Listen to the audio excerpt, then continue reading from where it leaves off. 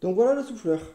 Il est livré dans sa boîte avec un mode d'emploi qui inclut le français, avec un câble USB type C, avec un petit sac de rangement, ça c'est super sympa, avec un petit accessoire supplémentaire qui permet de souffler avec une, une brosse au bout, voilà, et le souffleur en lui-même.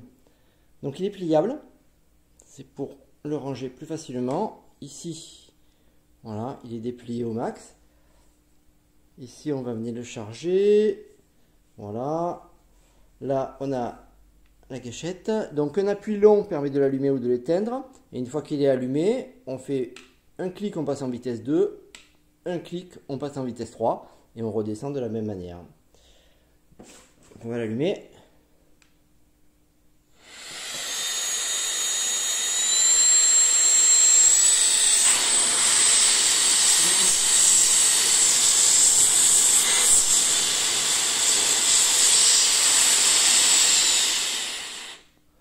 Voilà, ça souffle quand même relativement fort. On va s'amuser à le tester sur des cailloux.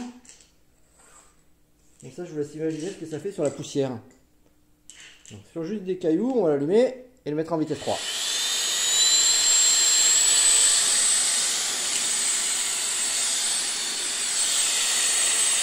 Sur des gros cailloux.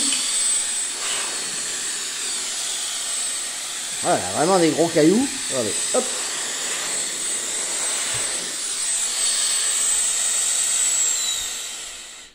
Donc là, quand on voit ce qu'il fait à des gros cailloux, ça, ça permet de comprendre ce qu'il fait à la poussière. Voilà, non, il est vraiment super.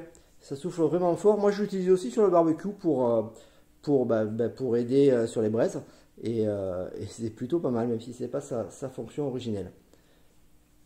Voilà.